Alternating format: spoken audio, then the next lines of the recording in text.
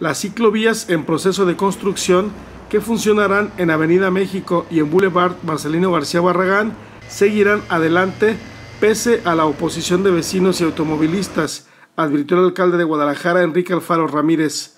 Incluso dijo que respaldan la ciclorruta impulsada por el gobierno de Jalisco, a la que se oponen vecinos y la presidenta del PRI Guadalajara, Claudia Delgadillo. Y la apuesta por las ciclovías va a seguir adelante.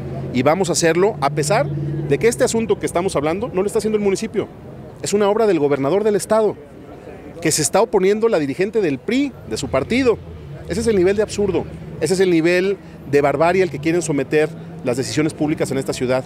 Lo digo con toda claridad. Así sea un proyecto del gobernador de Jalisco, eh, aquellos proyectos que le apuesten a impulsar modelos de movilidad no motorizada tienen nuestro respaldo.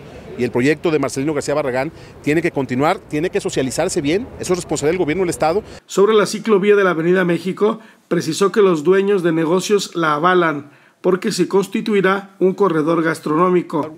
Esa ruta se enlazará con un carril para bicis en Avenida Chapultepec, que continuará por la Avenida Niños Héroes Guadalupe hasta llegar a Periférico. Yo no conozco ningún proyecto importante que haya salido con unanimidades, que todo mundo esté de acuerdo y que nadie tenga alguna objeción.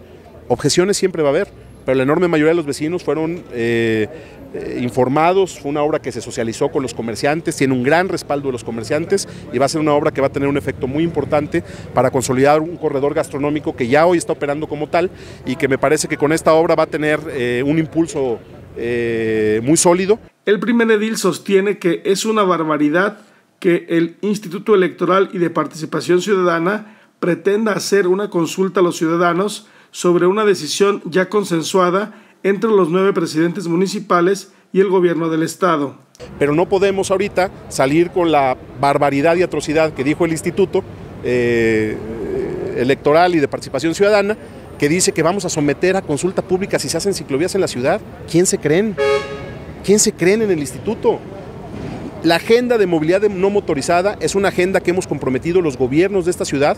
Alfaro Ramírez añadió que la Agenda Metropolitana de Movilidad No Motorizada tiene el aval del Consejo de la Zona Metropolitana y no puede someterse a una consulta. Con imágenes de Juan González, señal informativa Ignacio Pérez Vega. ¿Quién se creen?